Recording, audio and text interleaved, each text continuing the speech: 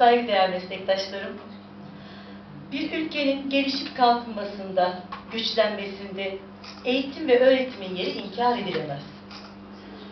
Toplumların ortaya koyduğu eğitimin kalitesi, diğer bir deyişle eğitim ve öğretim sektörüne biçtiği değer, aynı zamanda gelişmişlik ve kalkınmışlık dereceleriyle ilgili alakalı olacaktır.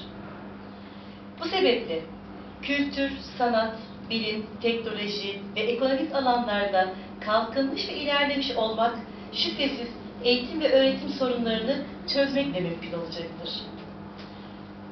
Milli mücadeleden sonra Ulu Önderimize memleketi kurtardınız, şimdi ne yapmak istersiniz diye sorulduğunda Eğitim Bakanı olarak milli irfanı yükseltmeye çalışmak en büyük emelimdir diyerek eğitim ve öğretime verdiği büyük önemi ifade etmiş ve sonrasında köklü değişikliklere imza atmıştır.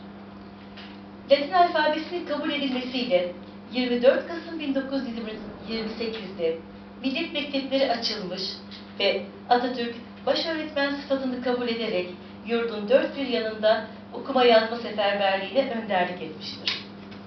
İşte bu nedenledir ki millet mekteplerinin açılışı ve Atatürk'ün baş öğretmenliği kabul ediş tarihi olan 24 Kasım günü ülkemizde 1981 yılından bu yana Öğretmenler Günü olarak kutlanmaktadır. Ulu Önderimiz 1925 yılında İzmir'deki bir söyleminde milletleri kurtaranlar yalnız ve ancak öğretmenlerdir.